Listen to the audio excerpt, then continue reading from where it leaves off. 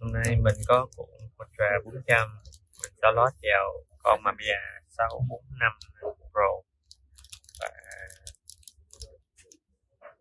mình sẽ chụp cho các bạn xem hình uh, của cuộn này nhé.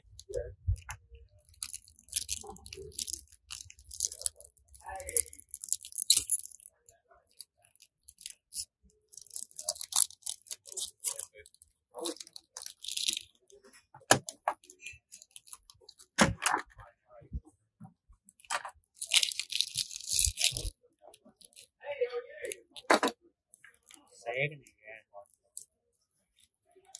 quan trọng nhất là phải xé cái miếng này ra trước.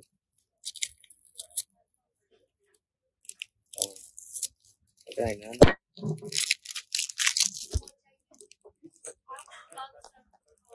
cái này nó chỉ giữ cái phần tim thôi.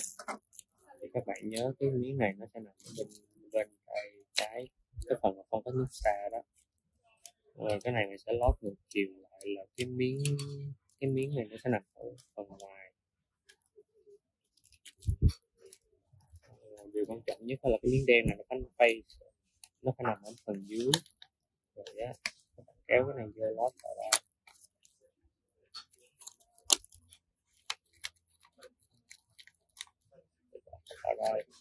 Rồi, để cho nó giữ lại trước khi quay thì giữ lại cho nó giữ chặt cái gầm để quay